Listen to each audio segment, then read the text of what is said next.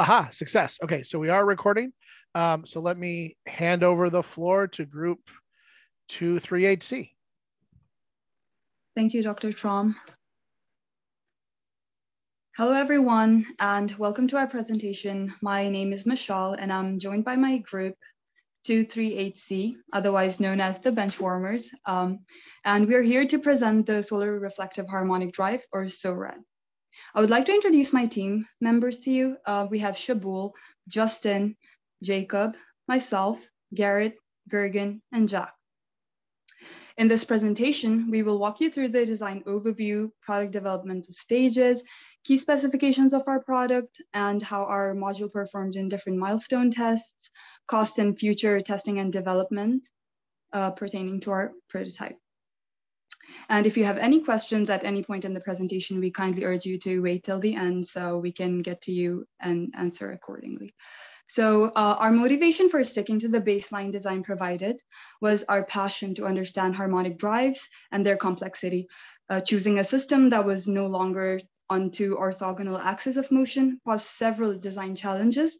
However, our team's biggest strength was new concept ideation, and this complemented our economic engine, which was to optimize material use and to reduce cost. So therefore, our hedgehog concept ended up being, uh, being best at designing our harmonic drives with minimal material possible. So let's talk about the design highlights.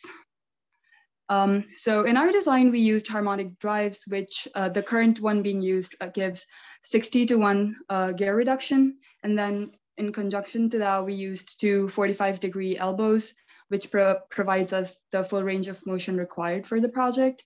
And uh, most of our material is 3D printed and most of our parts, apart from the OTS parts used and the bearings.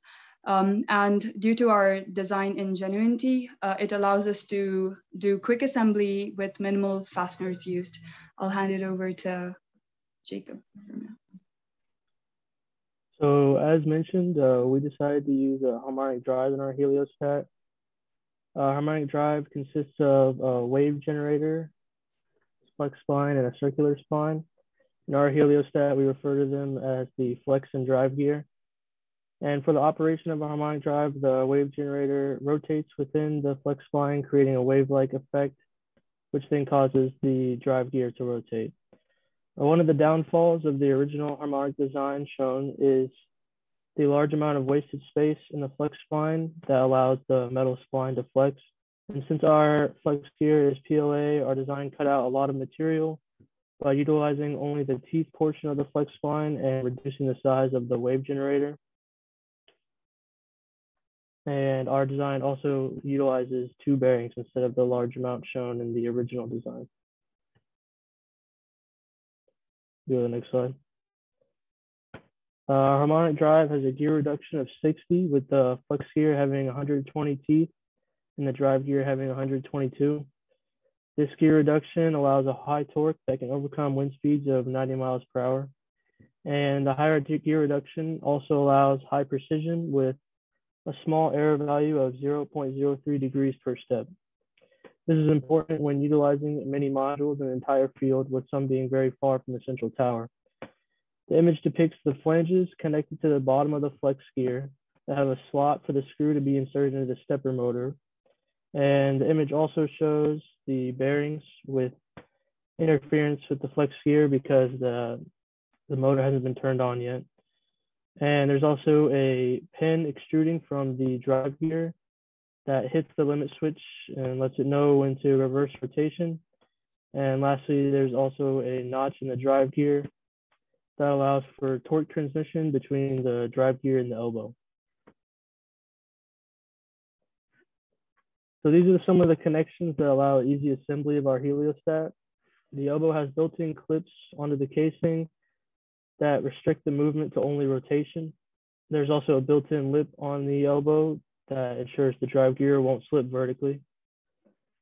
And the reflector module has a removable clip that allows easy insertion of the reflector. And the um, there's also the image of the nut insertion where the screw can be inserted to attach the module to the elbow. And the base also has four raised clips that press on to the four corners of the motor, fixing it in all directions.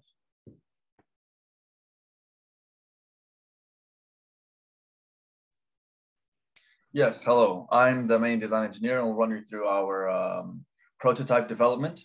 So consistent with our uh, design, uh, our desire to explore the limits of harmonic drives, we initially tried to go with the highest gear ratio possible of 70 to 1, which resulted in teeth slippage and inaccurate 3D printing.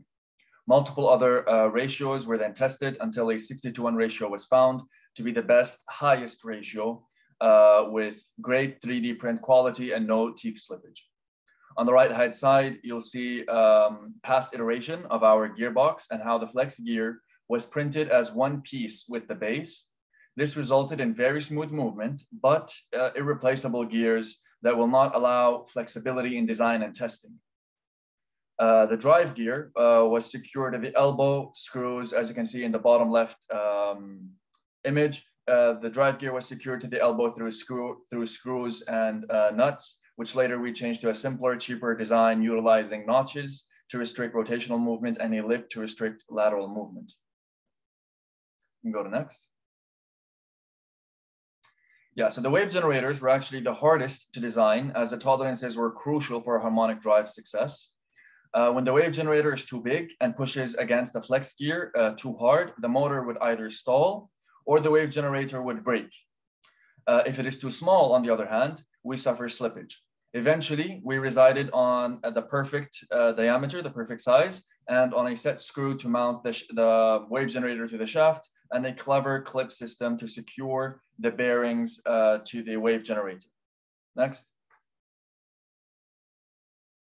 The elbow also passed through multiple iterations to perfect the snap fit dimensions and rigidity, uh, as well as to add the notches and the lip uh, previously introduced holding the drive gear. Next. Here are all the OD, OTS and 3D printed uh, parts used in our design. All right, so I was in control of wiring the entire module and writing the code for controlling the heliostat. Uh, it was a great learning experience because we don't have a lot of electrical classes in mechanical engineering. And so it was definitely a learning on the fly experience mostly with all of our electronics, like including the two stepper motors and the uh, the ESP32 microprocessor, it was you look up how to wire it and you plug in the wires into the breadboard and hope it worked. And we, we figured out to get a really nice working electronic system. I made a diagram on the right showing our wiring for one of the motors. We of course had two of them, but as you can see, there's a lot of wiring. And if I showed you a picture of our breadboard, it would have made everyone cry probably. But uh, this is what it does. Every electronic basically has power and ground, and then either one or two wires to the microprocessor for, for data transmission. We also, here you can see the limit switch. Uh, at the bottom, it's it's fitted snugly into the uh, into the, the design to keep it away from the environments and uh, to keep it consistent. And so now I'll go to, oh, this is a, uh, a conceptual housing that we made for the electronics since we were testing indoors, we didn't think it was worth the uh, the time or the the money to print this and to put our electronics in it. But we have this ready in case we ever wanted to implement it outdoors. So on the programming side of it, it was all done in the Arduino IDE. And I also kept this very simple, not only so that everyone in the team could understand it, but for future uh, classes that they can continue where we left off. Um, I used only pre-programmed Arduino libraries and ASCII codes, which uh, easily took the command we were giving to the serial port and converted it to the code so that the uh, the ESP could understand it. Um, we what we would do is we would give it a, a letter, uh, for example, M to move the uh, the motor, and you can see the readout on the UI here. You would be able to control which motor you wanted to use, how fast you wanted it to move, where where you wanted it to move, and uh, we were updating variables the whole time to so we knew exactly where we were. And uh, this was very helpful when we were doing the inverse kinematics, which Justin can now talk about. Perfect, thanks, Jack. Uh, so to understand the dynamics of our heliostat, we modeled it actually as a robot arm in MATLAB. We derived the model with Denavit-Hartenberg parameters and then used those to create a rigid body tree object that we could simulate all possible orientations for the heliostat mirror based on our rotation angles, theta one and theta two for our two elbow joints. The rigid body tree object and its uh, functions were specifically used to get the coordinate transformations from the base of the robot to the end effector, which in our case is the mirror. So the figure on the right here shows the rigid body tree object in the home configuration, which corresponds to theta one and theta two equal to zero. In this configuration, you can imagine actually that the mirror is completely vertical and facing due east. Next slide, please. So in determining the required joint angles to reflect beam radiation from say some point A to a target at some point B, there are three vectors that are important. The vector from the center of the mirror to the beam source, the normal vector at the center of the mirror, and the vector at the center of the mirror to the target. The correct orientation of the heliostat mirror will meet two conditions then. All three of these vectors need to be coplanar and the mirror normal must bisect the angle between the beam and the target. So next slide, please. So for known coordinates of the source of the beam and the target, the correct orientation for the heliostat was determined iteratively by checking all the possible angle combinations. So here you can see the out, output of our MATLAB program, our angles theta 1 and theta 2, to reflect the beam coming from directly above the heliostat to the target at those coordinates. The figure on the right shows the orientation of the rigid body tree model after the joints are rotated by theta 1 and theta 2 from the home configuration. And this was very useful for verifying the results of the input commands for our heliostat during testing. And now Gergen will actually tell you more about some of the tests that we conducted. Thank you, Justin. So as useful as engineering calculations are, they only serve as a baseline for the iterative design process. And in order to ensure complete functionality of the heliostat, we put the design through several tests. One of those tests required the ability of the heliostat to withstand winds up to 90 miles per hour. And as you can see on this slide, the heliostat has a defense mode, where the solar collector is oriented parallel to the ground to minimize the surface area and thus the drag force um, to prevent toppling and other kinds of damage and the test was simulated in a wind tunnel and was successfully passed by our heliostat. Next slide, please. Another functionality parameter that had to be tested was the reflection accuracy. The goal was to demonstrate that our design will reflect light from a ubiquitous source such as sunlight to a distant target with angular accuracy of plus minus 0.5 degrees. Uh, the test setup is presented on this slide. The heliostat was attached to a quick release coupling with a laser source pointed down on the solar collector. Next slide, please. Um, the design demonstrated the ability to hit the targets with both closed loop and open loop control. Unfortunately though, the heliostat did not reach maximum accuracy as it hit certain targets. The possible reason behind the inaccuracy is due to vibrations caused by tolerances of the 3D printer, issues with the mechanical assembly, motor drifting, and other possible causes presented on this slide.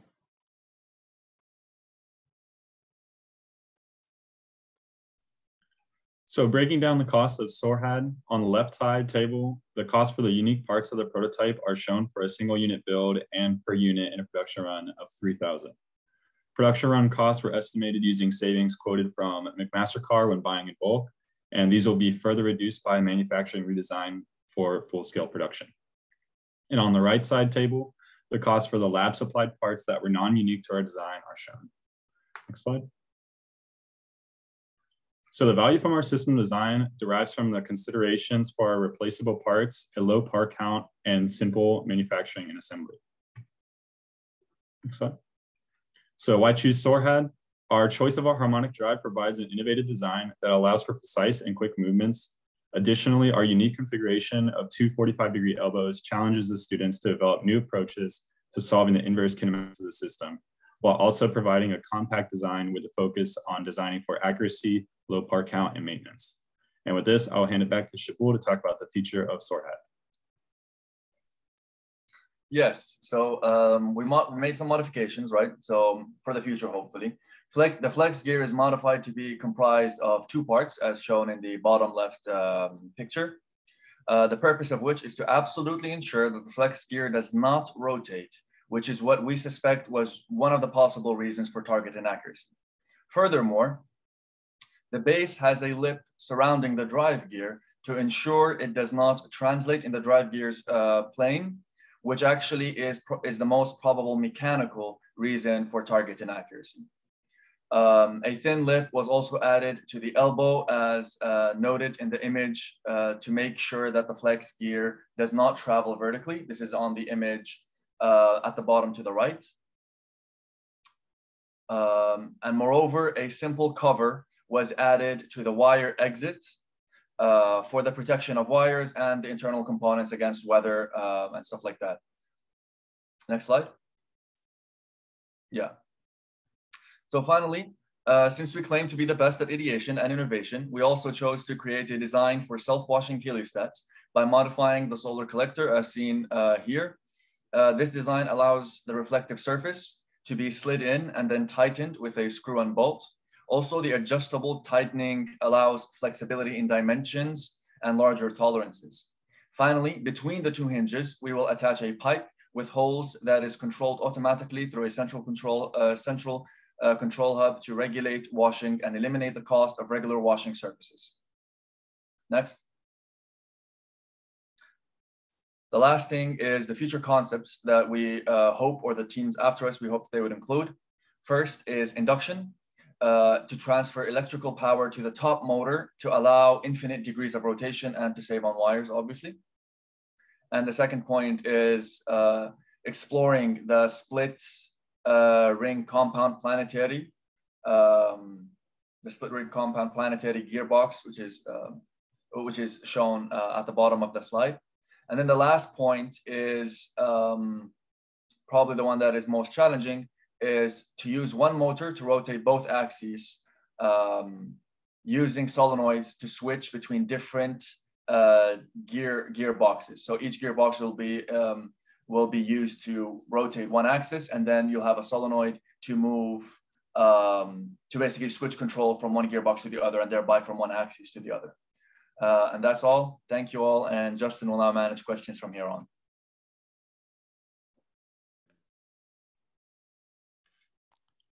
All right. Great. Thank you for the presentation. Um, do we have any questions from our panel?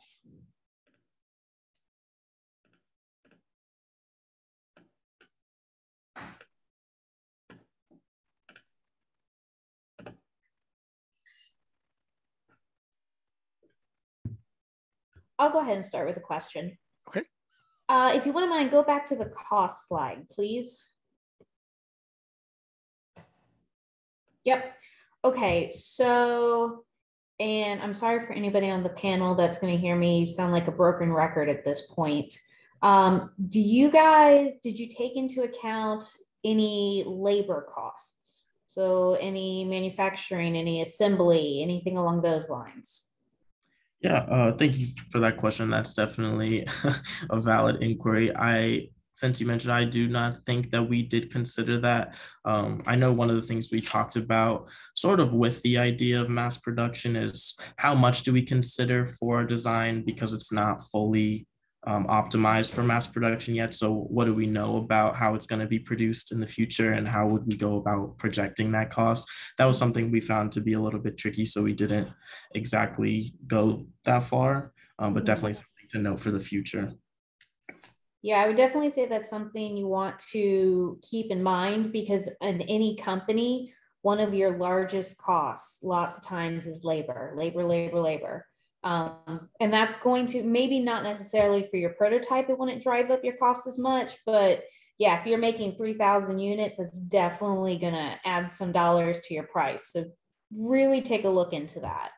Absolutely. And I know, and I'll also just make the comment that there was something we kept in the back of our heads and for our value proposition we wanted to make sure mm-hmm. our assembly was easy so that we could keep labor time and assembly time down and obviously keep mm-hmm. that cost then so perfect thanks and i guess to add one last point to that is uh, since we're managing the mechanical design part of the team um, through every uh, iteration through every design that we made um, one of the biggest biggest components was always making it very very easy to access everything um, working also as partly a mechanic, I also understand the frustration if an engineer doesn't design something that is easy to um, that is easy to fix or easy or uh, facilitates easy labor. So at, uh, we we're one of the only teams that, for example, implemented um, uh, snap fits and stuff like that. So that should all be um, uh, be considered later on towards the cost of of um, the assembly labor and so on and so forth. But there was no a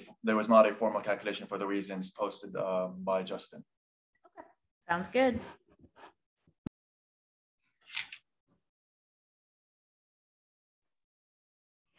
Okay, we have time for maybe one more question. Uh, so we got to jump to the next presentation.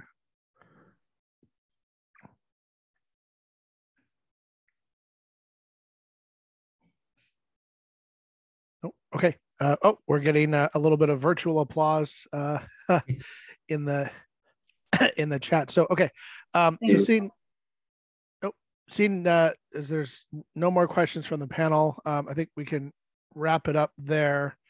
Um, so I just want to thank you guys for for sharing your design with us this afternoon. And and I guess my kind of parting comment is is this is the first time that I've seen a group that um, presented like forward looking plans, right? Like what the next iteration is going to be. Um, so I appreciated that that you guys are already um, you know kind of thinking ahead to how this thing is going to evolve in the future, which it definitely will, right? We're going to do the exact same um, process with the with the summer classes we did with you guys and hand them all of your designs and ask them to iterate further on those. So um, I'm appreciative that you guys are thinking ahead, and you should definitely put those forward-looking thoughts into your final design report so that groups in the summer can see them and take them into consideration as they're picking which um, which heliostats to move forward for small batch manufacturing. So um, anyway, just wanted to say that I, I appreciate that um, unique element that you guys added to your presentation.